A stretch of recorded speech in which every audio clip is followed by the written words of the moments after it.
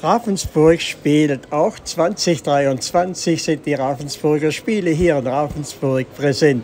Natürlich nicht nur, wenn die Spielzeit ist, wie hier am 9. September 2023, sondern das ganze Jahr und für alle Erwachsene und für Kinder ein Leben lang. Ein toller Tag für mich und für Las Vegas Fundproduktion. Wir produzieren Kurzschnitte für Sender hier in Deutschland und wir sehen schon, es wird gespielt. Es werden schon die Karten gemischt für die, die dabei sind.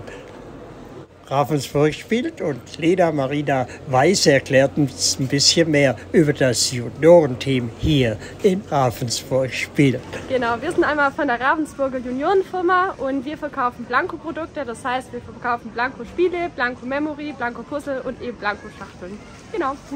Genau, Lena, und das mache ich jetzt auch. Ich werde spielen und werde mir natürlich auch zwischendurch mal einen Trink genehmigen oder Erfrischung. Und die finde ich wahrscheinlich hier schon in Ravensburg.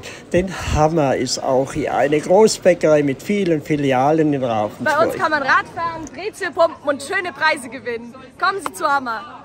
Wie ihr seht, ist die Brezel von Hammer. Ich esse immer die Pfefferbrezel bei denen ein Bestandteil dieses Tages. Und die Jugend nimmt es an. Sie pumpt sich die Brezel voll, füllt einen Gewinnlosschein aus und kann sogar tolle Preise gewinnen.